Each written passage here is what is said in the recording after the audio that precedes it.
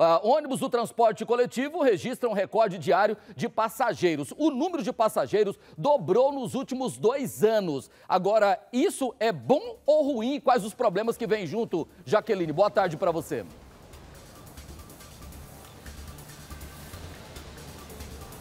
Boa tarde, Loares. Boa tarde, amigos de casa. Olha, o pessoal está dizendo que a quantidade praticamente dobrou nesses últimos dois anos. No pico da pandemia, muitas pessoas não puderam sair de casa, mas a gente que acompanhou, a gente sabe também que teve uma redução de ônibus. É, as pessoas que realmente não puderam ficar sem trabalhar tiveram que enfrentar né, a pandemia e mesmo assim passaram por aqui. E a quantidade hoje parece que dobrou. Se não fosse pelas máscaras, a sensação que a gente tem é que nem teve pandemia né? E agora a gente está no horário do almoço, agora muitas pessoas não estão precisando do ônibus, já estão em casa ou já estão no trabalho, né, almoçando. Mas a gente percebe que quem, tá, quem passa por aqui reclama sim da demora dos ônibus, da quantidade de pessoas esperando. E eu quero saber do pessoal, estou com o Jaraguá, vamos Jaraguá dar uma volta aqui para conversar com o povo. Olá, minha querida, tudo bem? Boa tarde. Você percebeu que a quantidade de pessoas nos ônibus aumentou depois da pandemia? Sim. Tá difícil andar agora? Tá. Você que anda com criancinha, então, como é que fica a situação lá dentro? Fica difícil quando tem onde sentar, né? Não tem, né? Não. Mas dobrou mesmo a quantidade de pessoas? Dobrou. Pois é, obrigada, viu, minha querida? Boa viagem para você. As pessoas, ô Loares, elas reclamam da demora ainda, da grande quantidade. Você que é estudante, percebeu que a quantidade de pessoas nos ônibus aumentou? Eu não sei. Você não percebeu ainda? Não. Está é, cheio como sempre ou está vazio como sempre? Eu chego cedo. Hã? Eu chego mais tarde. Mais, chega mais tarde, né? Tá certo, obrigada. Ô, Loares, aqui agora há pouco estava lotado de pessoas, as pessoas acabaram de entrar no ônibus, mas é isso. A boa notícia é que esse ano não vai ter aumento na passagem, né? E, ah, segundo o presidente da CMTC, a gente fez uma entrevista com ele, daqui a pouco a gente vai assistir, mas ele disse o seguinte: a situação que já está ruim vai piorar um pouco mais, porque vai ter o bilhete único. Então, outras pessoas vão se sentir motivadas a deixar o carro em casa, a pegar o bilhete único, a usar o bilhete único para economizar, né? Tem um bilhete família que vai dar para trazer mais gente.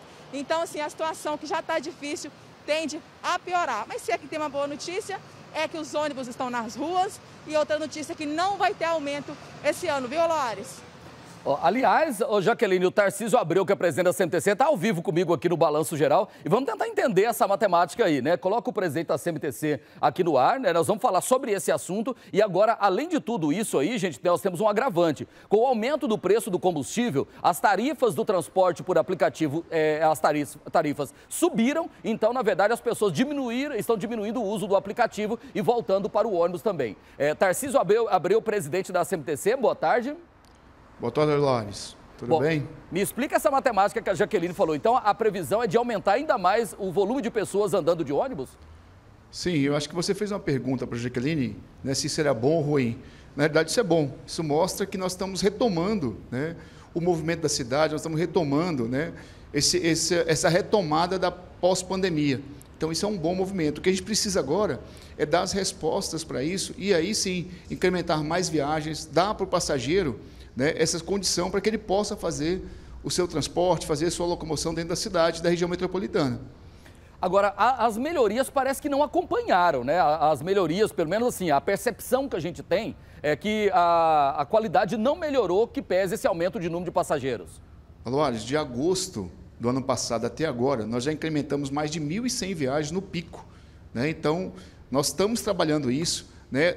Lógico, é um projeto, né? Nós estamos falando da nova RMTC, é um planejamento. São várias ações que vão ser implementadas. Então nós estamos trabalhando no momento para poder atender essa demanda e aí fazendo os atendimentos pontuais, colocando viagens novas, incrementando linhas novas, fazendo ajustes que são necessários. Existe uma equipe técnica da CMTC hoje que está acompanhando e fazendo esse atendimento e fazendo essas mudanças né, diariamente. Então, hoje, nós temos já uma rotina de acompanhamento, de mudanças que são necessárias. E esse é um trabalho diário.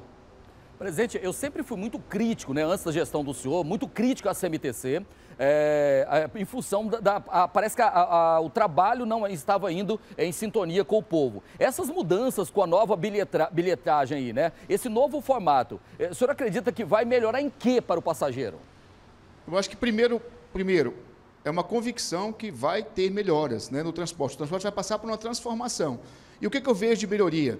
Eu vejo uma transformação. Nós vamos colocar mais ônibus, nós vamos colocar mais viagens, nós estamos falando de aquisição de ônibus novos, nós estamos falando de, toda uma série de bilhetagens, de produtos né, de bilhetagem que vão trazer para o passageiro redução do tempo de viagem, vamos ter redução do custo, nós estamos fazendo a manutenção via, do, do, preço da passagem. Né? A passagem está desde 2019 a 4,30. Nós estamos mantendo essa mesma passagem a 4,30 também no ano de 2022. Então, tudo isso são ações que hoje a CMTC tem feito junto né, com o governo do Estado, com a Prefeitura de Goiânia e demais prefeituras, para que a gente possa manter o, o valor da tarifa, que a gente possa incrementar melhorias e que a gente possa ter uma reformulação no sistema.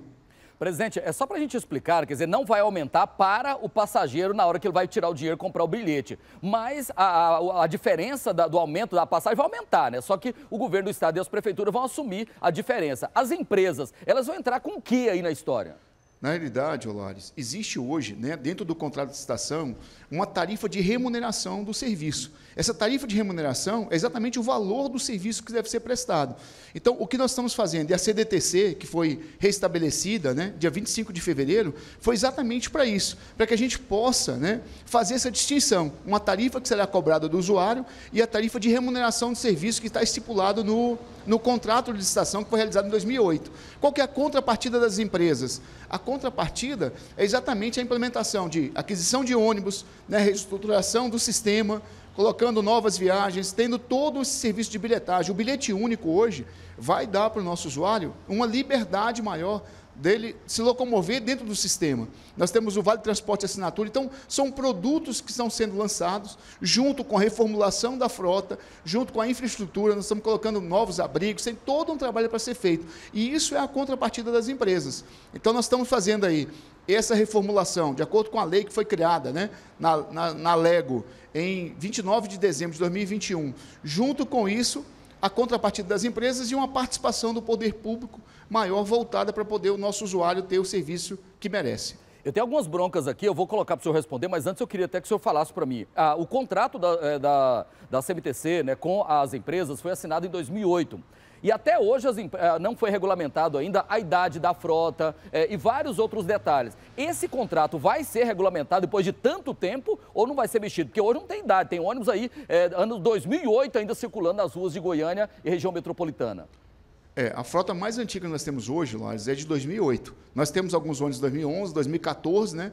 Então, uma, teve uma pequena renovação, mas hoje, no contrato de estação que foi feito em 2008, não tem essa previsão. O que nós estamos trabalhando agora é para que essa frota seja renovada a todo o período. Então, durante o ano 2022, 2023 e 2024, nós temos toda uma frota nova para atender esse nosso usuário, né, com melhor qualidade, com ar-condicionado, né, conectado com Wi-Fi, ou seja, tem realmente um ônibus adequado para esse serviço. Então, isso vai acontecer nos anos 2022, 2023 e 2024.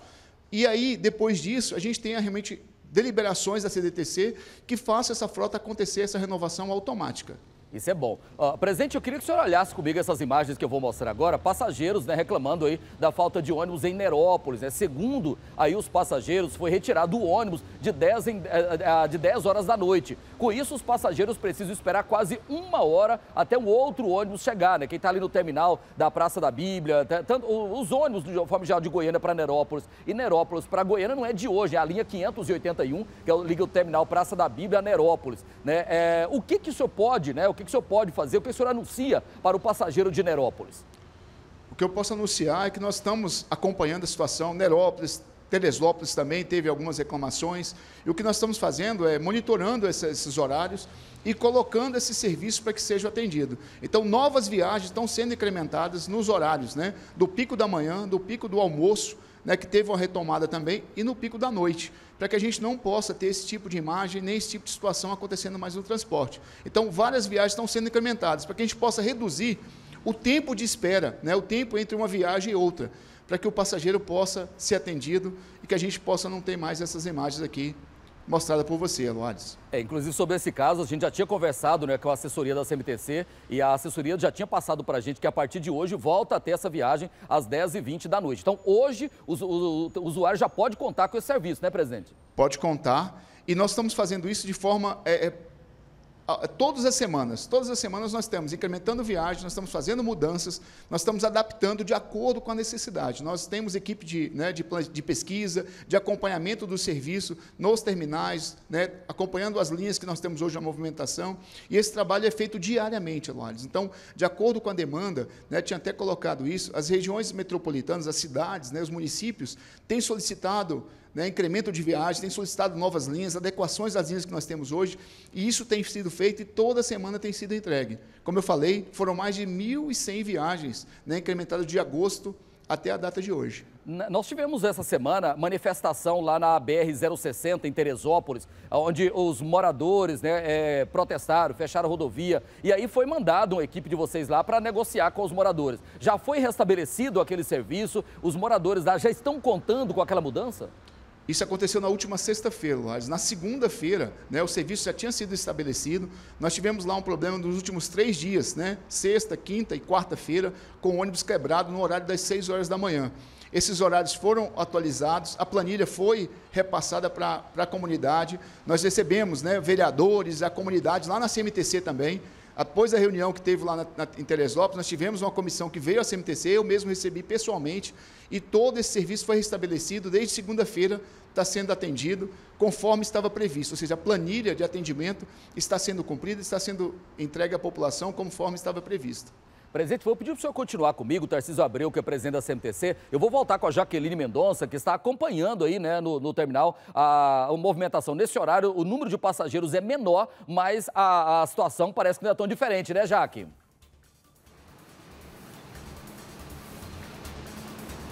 Exatamente. Esse aqui é o ônibus 021, terminal Praça da Bíblia. Ô Lores, olha só. Esse aluno aqui vai fazer um esforço para ver se consegue entrar, né? É sempre assim? É. Olha só. Sempre lotado desse jeito? Olha aí o senhor, tentou entrar, não conseguiu. É uma situação complicada. Meu senhor, vem aqui. Vem cá. Tentou entrar, não conseguiu. É sempre assim a situação? Ah, tá sendo, né? Tá muito cheio agora? As pessoas ficam até constrangidas em falar, porque é uma situação muito chata, né? As pessoas têm compromisso, têm que ir para casa. Me conta uma coisa, como é que tá a situação aqui? Tá muito lotado? Pouco tá, tá péssimo, tá lotado demais. Você tentou entrar nesse ônibus agora? Não, nesse não, mas nos outros já tive problema já. Sempre lotado? Sempre lotado. Mas a pandemia não tinha melhorado um pouco? Tinha, mais ou menos, melhorou. Mas aí voltou tudo normal. Voltou. Bom, voltou? Voltou, bom. Precisa trabalhar, pegar ônibus? É claro. E aí, como é que fica todo dia? A senhora precisa ir para onde? Não, agora eu tô indo lá pro Ceasa. Pra Ceasa. E é. você tá esperando, tem um tempão aqui?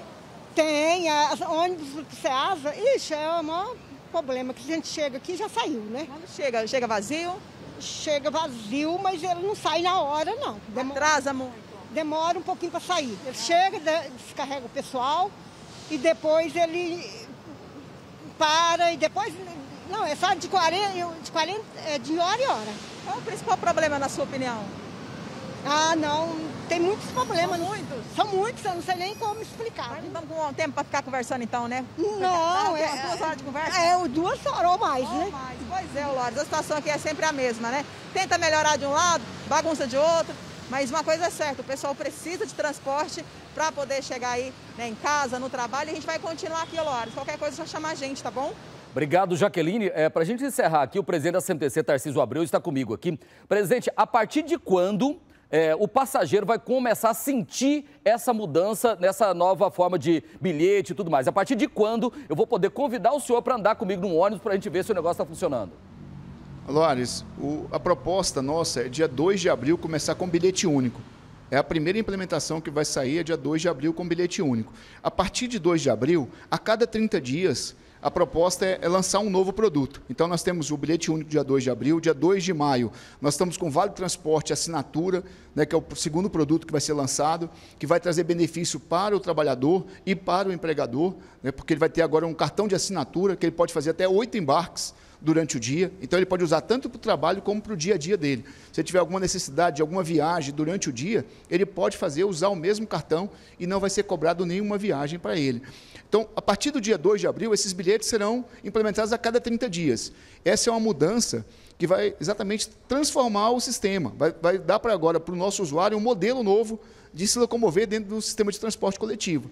Além disso, o que nós estamos fazendo de imediato hoje é exatamente a implementação de novas viagens. É criar, no, é, é, colocar novas viagens, reduzir esse tempo, esse intervalo entre as viagens que nós temos hoje no sistema, com mais, né, com mais ônibus e fazendo um atendimento melhor para que o usuário não sofra, né, como nós estamos vendo nas imagens. E agora, nós também, com esse, com esse pós-pandemia, o que nós temos percebido é que o, o horário de almoço ele está tendo uma demanda maior que tinha em 2020 e 2021. Então, tanto o horário de almoço como o pico da noite teve algumas mudanças. E isso faz parte desse processo pós-pandemia, né? dessa retomada que nós estamos observando e acompanhando dos passageiros. Então, estão tendo novas demandas e novas necessidades de viagens. E isso está sendo feito. Esse é o trabalho emergencial que a gente precisa fazer, está fazendo, né?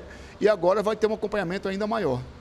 É, Tarcísio Abreu, presidente da CMTC, muito obrigado aqui pela participação no Balanço Geral. Então, depois do dia 2 de abril, vou te convidar o senhor para dar uma volta em né, algumas linhas aí. Eu vou escolher a linha, né, o horário, aquele negócio todo. Só liga o seguinte, ó, qualquer momento eu passo aí para te pegar, para a gente dar uma voltinha aí no, no, numa linha para ver se está funcionando ou não está. Presidente, obrigado, boa tarde, viu? Eu que agradeço, Lage, pelo espaço, pela oportunidade. E pode fazer o convite, marca o horário, a linha, eu estou à sua disposição. Né? Eu acho que o nosso objetivo é esse, é, é realmente fazer uma transformação para que o nosso usuário tenha qualidade de vida e qualidade do sistema de transporte.